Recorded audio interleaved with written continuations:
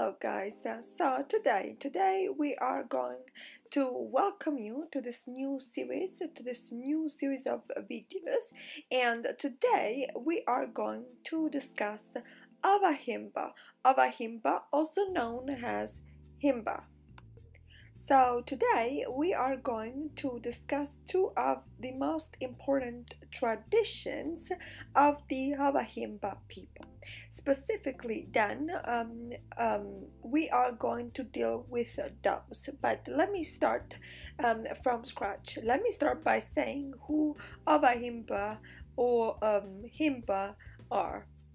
They um, constitute a population of over 50,000 uh, people and the women engage in daily activity of uh, milking their cows, taking care of the children, and other extensive duties. The men go hunting, living there for their households for an extended period of time.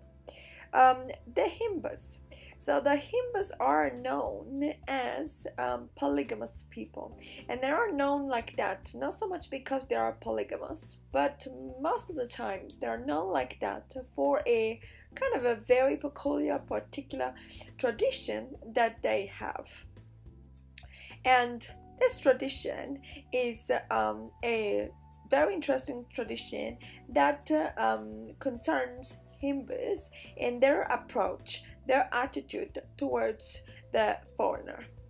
Um, first off, though, let me take a step back and let me go and discuss Himba marriages.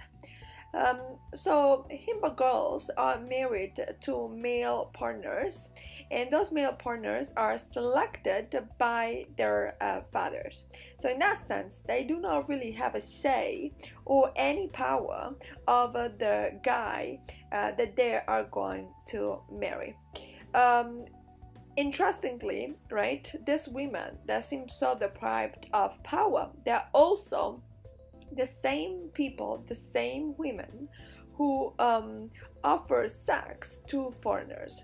There is a practice, there is a well known um, practice in this world, a practice at least known in the world of the Avahimba, and also I would say in the anthropological realm, and that is known as Okujepisa or Omukazendu treatment.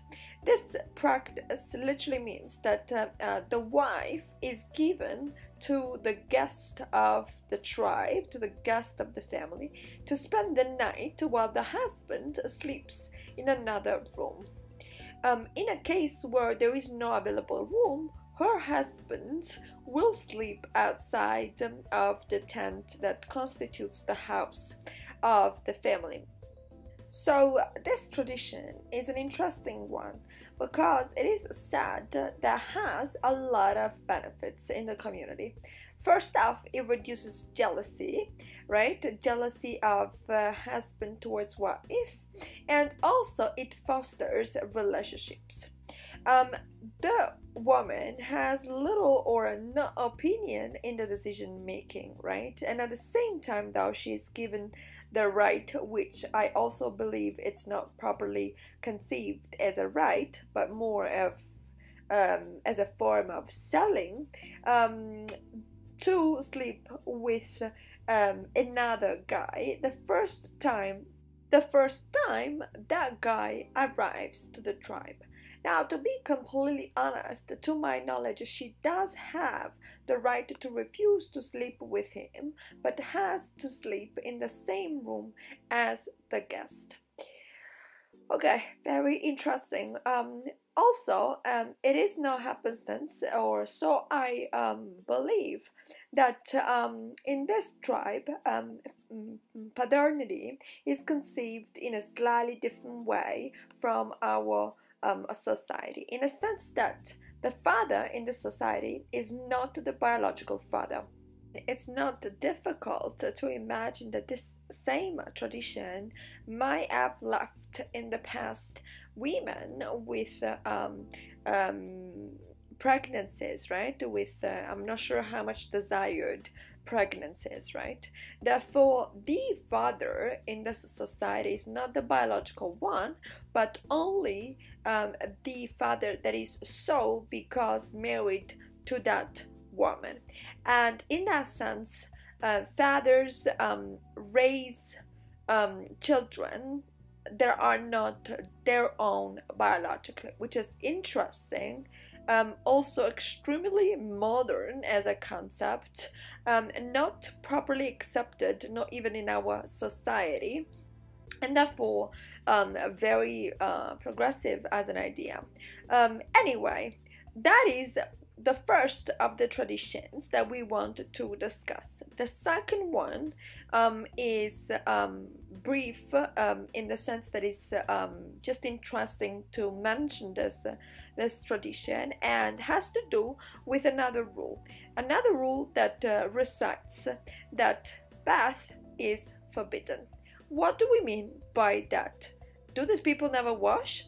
Um, of course, they do wash, but uh, um, not exactly with uh, water. Let's put it that way. So um, there is a rule, right? Um, and there is a rule, and this uh, rule is um, the reason why they have such a red skin. Of course, that red skin is not natural, but it's the result of uh, a mixture. This is a mixture used um, to bathe, and it is made of otjize paste, which is a combination of uh, butterfat, omu zubumba scrub, and ochre. And of course, ochre would give off that kind of uh, color. And this color is particularly important because um, it is um, red and it is believed to be a strong reference to earth and also blood and is considered almost sacred in this society. And its function is um, um, to protect the skin from the sun and insect bites. Um, they are also um, known, um, especially here we are talking about the women, um, for taking as a smoke bath and apply aromatic resins on their skin. Now, with that being said, guys, I would stop here. Let me know what you think. Let me know what you think about those traditions. And of course, we'll talk some more in another episode of um, this series about a different topic. So please comment below and let me know. Remember also that I want you guys to like the video if you truly like the video, subscribe to the channel, hit the notification bell, and um, comment below. Let me know your thoughts. Let me know if you knew um, all of this or some of this. And again, we'll talk some more next time. Bye!